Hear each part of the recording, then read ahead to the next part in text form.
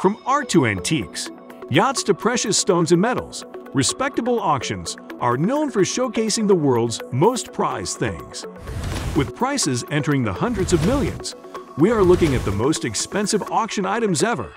Number 5. Rabbit by Jeff Koons The gleaming stainless steel sculpture, created in 1986, was inspired by a child's inflated toy and has been lauded by art critics as exquisite and evocative of earlier works by Duchamp and Warhol. Koons' career has been rocky, so the sale comes as a welcome relief when he was forced to shrink his studio in 2017. Robert E. Mnuchin, an art dealer and the father of Treasury Secretary Steven Mnuchin, purchased the artwork at Christie's. When the hammer dropped, the price was 91,100,000 US dollars. Without a doubt, one of the most unique and valuable items ever sold at auction. Number 4 Giacometti's Pointing Man The Pointing Man is a life-size sculpture of a slender man in the style of Alberto Giacometti. Giacometti is widely regarded as a modern art world titan. Giacometti built the sculpture in a single night in 1947 in order to have it ready for his debut exhibition in New York. Originally intended as part of a bigger composition, Giacometti altered his mind, concluding that the sculpture stood alone as a complete work. As a result of this Christie's sale in 2015, the National Portrait Gallery announced its first ever Giacometti show, which ran in 2016 to honor the 50th anniversary of his death.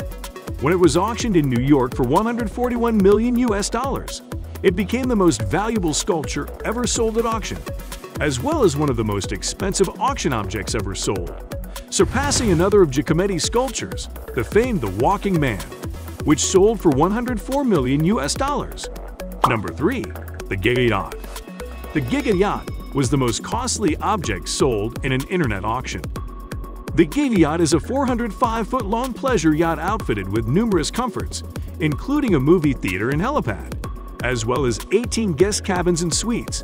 The yacht, however, had not yet been completed at the time of the sale. The yacht's design features a distinct draw of under 5 feet, allowing her to motor into most ports.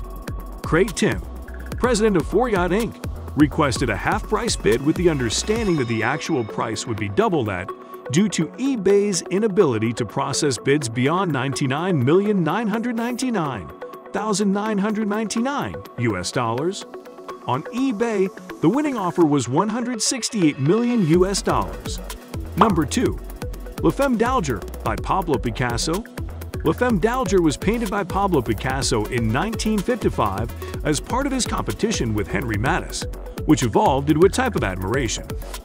Picasso mourned Matisse's death in 1954 by creating 15 paintings in homage to Eugene Delacroix's 1834 picture La Femme d'Alger, which Matisse admired.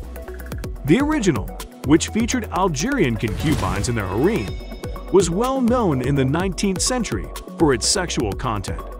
It hung in the Louvre in the 1950s, where Picasso would pay visits. When asked what he thought of Delacroix, Picasso said, that bastard. He's fantastic. The colorful Cubist masterpiece sold at Christie's in 2015 to a roar of cheers, clapping, and gasps for a jaw-dropping 179,400,000 US dollars, cementing its place on our list of the most expensive auction goods ever sold as of 2021. Number 1.